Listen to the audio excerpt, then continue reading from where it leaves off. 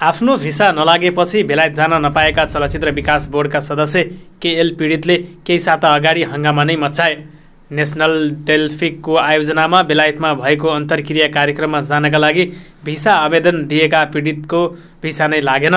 यसपछि उनले यस्ता कार्यक्रममा विकास बोर्डले सहभागिता जनाउन हुँदैन भन्दै विरोध गरे। सोही कार्यक्रम जनवरीबाट पोस्टपोन भएर फेब्रुअरीमा पुग्यो। बेलायतमा यो कार्यक्रम शनिबार आयोजना भएको छ। नेपाली फिल्मको छ दशक चुनौती र अन्तर्राष्ट्रिय बजारको खोजी विषयक अन्तर्क्रिया कार्यक्रममा चलचित्र विकास बोर्डका अध्यक्ष भुवन केसी प्रमुख अतिथि भएर पुगे। यति गम्भीर विषयमा बेलायत पुगेर आयोजना गरिएको कार्यक्रममा फिल्मकर्मीहरूको उपस्थित भने उदेक लाग्दो रहेछ। यस्तो गम्भीर विषयमा बेलायतमै पुगेर फिल्मकर्मीको उपस्थिति बिना नै यो कार्यक्रमको आयोजना गरेर फिल्म क्षेत्रलाई के फाइदा पुग्छ प्रश्न खडा गर्न सकिन्छ। तर आयोजना हुनु अगाडि नै विवादित बनेको कार्यक्रमका बारेमा नबुझी अध्यक्ष भुवन केसी आफ्ना सहयोगी निराजन गिरीको साथमा बेलायत पुगेका हुन्।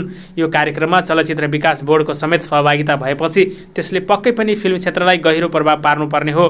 तर केही व्यक्तिहरू लन्डन पुगेर फर्किनु बाहेक यो कार्यक्रमले फिल्म क्षेत्रलाई कुनै फाइदा दिने देखिँदैन। उसो त विवादित कार्यक्रममा पुगेर रमाउने भुवन केसीको नयाँ शैली होइन।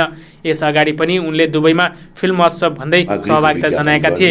एक विवादित कम्पनीसँग मिलेर चलचित्र विकास बोर्डले आयोजना गरेको कार्यक्रमको औचित्य आजका दिनसम्म पनि केसीले स्पष्ट पार्न सकेका छैनन्। नेपाली फिल्मको हित र विकासका लागि भन्दै विकास बोर्डमा पूजा नै गरेर प्रवेश गरेका भुवन केसीको कार्यकाल सकिन अब केही महिना मात्र बाँकी छ। तर उनले आफ्नो बिग्रिएको छवि सुधार्न भन्दा पनि यस्तै विवादित कार्यक्रममा सहभागिता जनाएर झनै छवि बिगारिरहेका छन्। विकास बोर्डमा फिल्मको बारेमा बुझेको मान्छे पुगेर मात्र पनि हुँदैन भन्ने उदाहरण भुवन केसी भनेका छन्। शुक्रबारदेखि रिलिजमा आएका बलिउड नायक शहीद कपुर र नायिका कृति सेनन अभिनीत फिल्म तेरी बातोमे ऐसा उल्जा दिया ले बक्स अफिसमा सुखद कमाइ गरिरहेको छ।